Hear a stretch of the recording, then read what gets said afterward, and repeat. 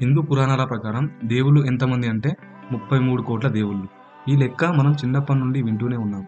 కానీ అందరికీ బాగా తెలిసిన పేర్లు మాత్రం గణపతి సుబ్రహ్మణ్యుడు లక్ష్మి సరస్వతి ఇలా చాలామందే ఉన్నారు. వీరిలో త్రిమూర్తులు మాత్రం అత్యంత కీలకం.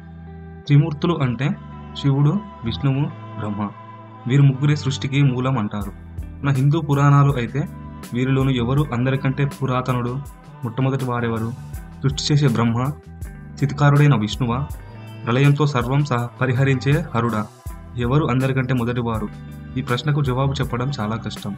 ఒక విధంగా అసాధ్యం కూడా. ఇంకా వీరిలో అత్యధిక శక్తి కలిగిన వారు ఎవరు అని చెప్పడం కూడా చాలా కష్టం. కానీ కొన్ని పురాణాలు శివుడు గొప్పవాడు అని చెబుతున్నాయి. అలాగే కొన్ని పురాణాలు విష్ణువు గొప్పవాడు అని చెబుతున్నాయి. శివ పురాణంలో శివుడు గొప్పవాడు అయితే విష్ణు మహాపురాణంలో విష్ణువు గొప్పవాడని చెబుతున్నాయి.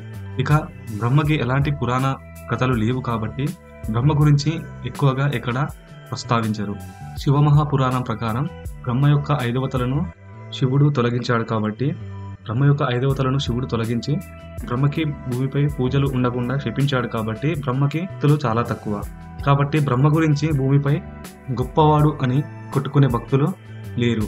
కాబట్టి విష్ణువుకి శివునికి మధ్య భక్తుల యొక్క మాటల పోటీ ఎప్పుడూ ఉంటుంది.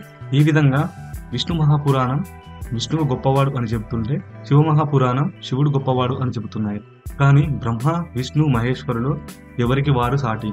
ఒకరు లేకుండా సృష్టి నడవడం చాలా కష్టం. బ్రహ్మ ఈ సృష్టికి ప్రతి ఒక్కరి తలరాతలు రాసేవాడు బ్రహ్మ.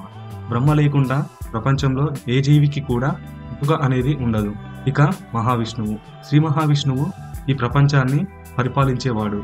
మహావిష్ణువు లేకుండా ఈ ప్రపంచాన్ని పరిపాలించేవారు ఉండరు. కాబట్టి మహావిష్ణువు కూడా ఈ సృష్టికి కీలకం. ఇక బ్రహ్మ విష్ణువులతో పాటు మహేశ్వరుడు. మహేశ్వరుడు సృష్టి వినాశకుడు. సృష్టి వినాశనం జరగకుండా తిరిగి సృష్టి ప్రారంభం అవ్వడం చాలా కష్టం. ఇక్కడ శివుంది సృష్టి వినాశనమే కాదు. సృష్టి వినాశనమే కాకుండా సృష్టి జరగడానికి కూడా ఉపయోగపడతాడు. కాబట్టి త్రిమూర్తులలో బ్రహ్మ విష్ణు మహేశ్వరులది సమానమైన పాత్ర.